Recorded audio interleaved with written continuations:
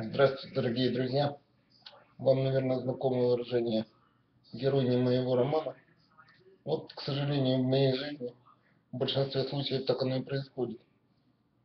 Стихотворение называется «Романы». У нее с ним роман, у него с ней роман. У меня только нету романов. Вся моя настоящая жизнь лишь обман. Боже, как я устал от обмана. Полюбил он ее, она любит его. Состоялась великая свадьба. У меня на сто лет в планах нет ничего. А хотелось мне тоже сыграть бы. Он женился уже, она замуж пошла. Завязались надолго романы. У меня только с этим плохие дела. Я весной каждой от любви пьяный. Спасибо. Удачных романов вам, дамы и господа.